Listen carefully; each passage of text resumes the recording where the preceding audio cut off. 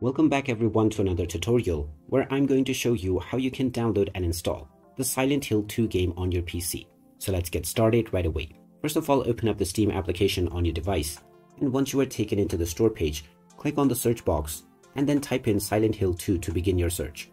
Once you find the game, you can click on it and this will take you into the game page where you can check out the trailer as well as the reviews.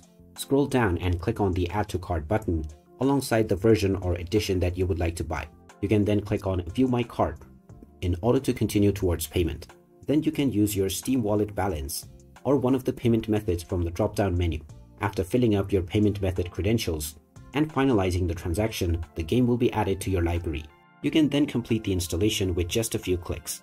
And now you can start enjoying the Silent Hill 2 game on your PC. So there you have it. That is how easy it is to download and install Silent Hill 2 on your device if you find this video helpful, don't forget to hit that like button and subscribe to our channel for more useful tips and tutorials. Thanks for watching and I will see you again in the next one.